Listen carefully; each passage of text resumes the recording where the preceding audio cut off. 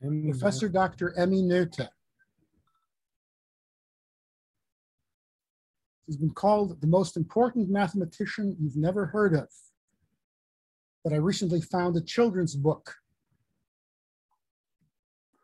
Scientists are a famously anonymous lot, but few can match the unmerited obscurity of the 20th century mathematical genius Amalie Noether, but she preferred to use her middle name, which was Emmy.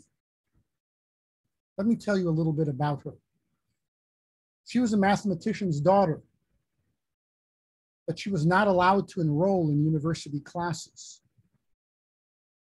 Academic Senate warned that coeducational education would overthrow all academic order. There's a faculty member who is quoted as saying, what will our soldiers think when they find that they are required to learn at the feet of a woman? But fortunately, mathematician David Hilbert gave a famous reply. He said, I do not see that the candidate's gender is an argument against her admission. After all, we are a university, not a bathhouse. So finally, she was permitted to study, but still had to ask permission from each lecturer whose course she wanted to attend. She did win the right to matriculate and ultimately earned a PhD in 1907 and I believe she was the first female PhD in mathematics in Germany. But in that era, there were no faculty jobs open to women. So she worked without pay for over seven years. And then she was hired by Hilbert at the University of Göttingen, but she had to give his lectures under his name and was still not paid. It was 1923 before she received an official appointment. But only a decade later, she had to flee to the US to escape persecution. It is said that she produced papers and theories at a staggering rate, including many contributions that were very rarely acknowledged to papers that were written by her students and her colleagues. In the United States, she joined Bryn Mawr College and maintained ties to Princeton's Institute for Advanced Study. President of Bryn Mawr announced her association by saying that she is the most eminent woman in mathematics in Europe and has had more students at Göttingen than anyone else in the department. Her last doctoral student wrote that her methods of thinking and working were to recognize the unessentials and brush them aside. This was far from a superficial achievement.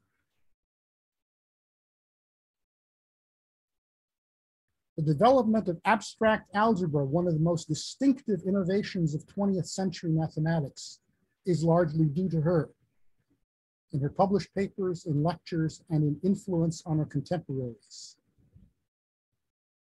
Noether's theorem of 1915 is said to be one of the most important mathematical theorems ever proved in guiding the development of modern physics, possibly on a par with the Pythagorean theorem. Now, I knew one of these two gentlemen, Leon Lederman, retired just a few years before I took my, my last job, but he would have been my boss he has the honor to hold a Nobel Prize. This is no mean accolade.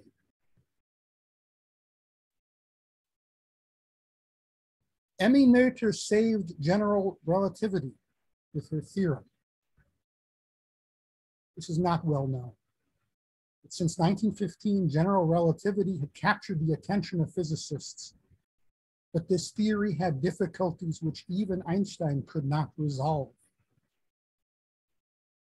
we would likely not be celebrating this landmark theory were it not for Emmy Noether, who in her prime couldn't even secure a teaching job because of her gender.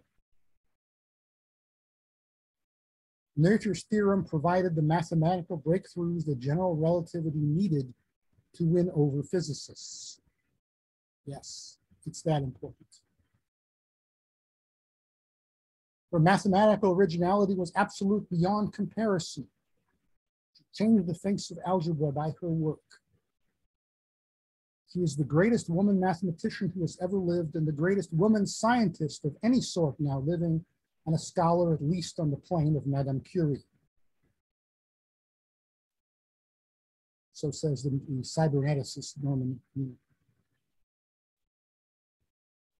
A few days after her death, this was published. Within the past few days, a distinguished mathematician, Professor Emmy Noether, died in her 53rd year. In the judgment of the most competent living mathematicians, she was the most significant creative mathematical genius thus far produced. So wrote Albert Einstein, published in the New York Times.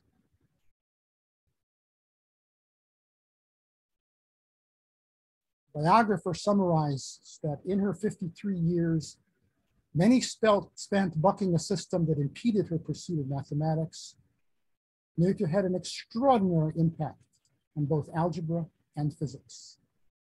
There's no telling what else she might have accomplished if society and fate had been more kind. Okay, so what's the connection? What does her work have to do with C++ math? It was she who taught us to think in terms of simple and general algebraic concepts for Noether, relationships among numbers, functions, and operations became amenable to generalization only after they have been reduced to general conceptual relationships. In case you missed it, here's the key. Yes. The greatest thing in 20th century mathematics. What was Noether's idea? It was that you could separate concepts from implementation. You could just deal with concepts. So if anybody invented generic programming, she did. She realized it all. She realized if you could fully separate these two things. Her contribution needs to be remembered. And who wrote these words? Alexander Stepanov. Yes.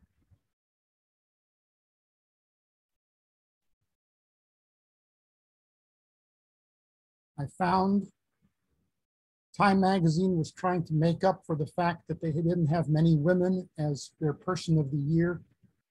So they recently published some covers that they should have used, saying that even now, the world still learns from Noether, whose abstract principles are fundamental.